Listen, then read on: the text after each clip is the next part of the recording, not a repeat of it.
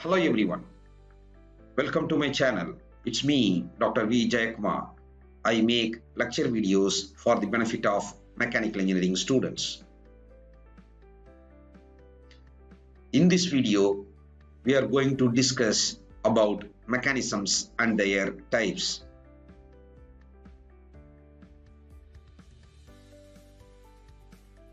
Before we proceed, if you are visiting this channel for the first time or you have not yet subscribed to the channel, please press the subscribe button and also the notification bell icon to get notified every time I post brand new video on this channel.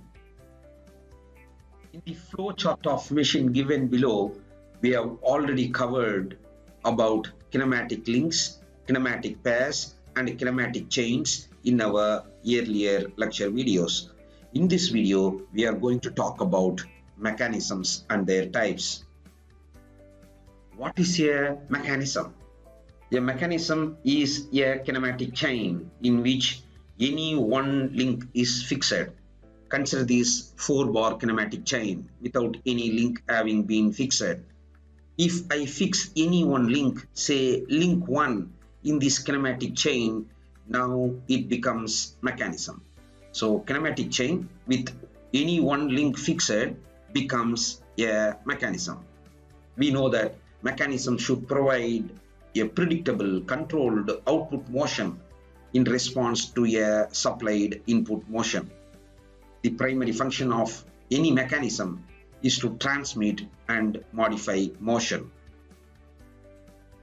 In the literature, many kinematicians use the terms mechanisms and linkages.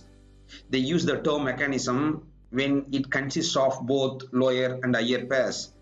They use the term linkage in order to describe a mechanism consisting of only lower pairs. Consider the Cam-Follower mechanism, which is a four-link mechanism which has three lower pairs and one higher pair. So they prefer it to be called as mechanism. Whereas in the second diagram, it is a four-bar linkage because it has all lower pairs and hence they prefer it to call as linkage rather than mechanism. But these days, the terms mechanisms and linkages are used interchangeably. Now we shall see the classification of mechanisms. Mechanisms can be classified based on number of links as simple mechanism and compound mechanism. Mechanisms can also be classified based on characteristics of motion of links as planar and spatial mechanisms. We will see them one by one now. First, let us see the difference between simple and compound mechanism. If a mechanism is having four links, that is known as simple mechanism. If a mechanism has more than four links, then that is known as compound mechanism. In the second classification, we will talk about planar mechanism now. A mechanism formed when all the links of the mechanism lie in the same plane. It is known as planar mechanism. In planar mechanisms, the complete motion paths of the mechanism can be represented by a single plane. Each link of the mechanism can have maximum of two translatory motion in x and y axis and one rotation about z-axis and hence a planar mechanism can have a maximum of 3 degrees of freedom. Let us see some examples of planar mechanisms. Consider a windshield wiping mechanism that are being used in automobiles. You can see that all links of this particular mechanism lie in the same plane and hence it is a typical planar mechanism. Similarly, consider IC engine in which the various links are slider, connecting rod, crank and cylinder, they lie on the same plane. Another interesting mechanism, namely crank and slotted lever mechanism that is used in shaper machine.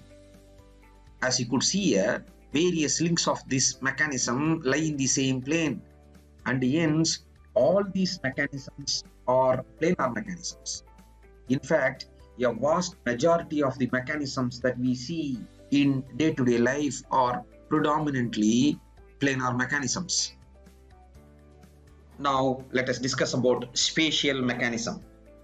A mechanism formed when the links of the mechanism lie in different planes. It is known as spatial mechanisms. In other words, to describe the motion of spatial mechanisms, we need more than one plane. For example, the motions of a robot arm, crane, and Hooke's joint are examples of spatial mechanisms. A spatial mechanism can have maximum of 6 degrees of freedom, 3 translatory motions in x, y and z axis and 3 rotational motions about x, y and z axis. Consider the motion of a robo arm. This requires more than one plane to define the motion of the robo arm. Hence, motion of robo arm forms a spatial mechanism. Same is the case with the crane. As you could see, the links of the crane lie in different planes. Hence, the motion of a crane is also a spatial mechanism. Key takeaways of this video lecture are summarized for your ready reference. That's it. Hope you like this work. If so, like this video, share it to your friends, subscribe the channel, hit the notification bell icon. Thanks for watching. Take care. Bye.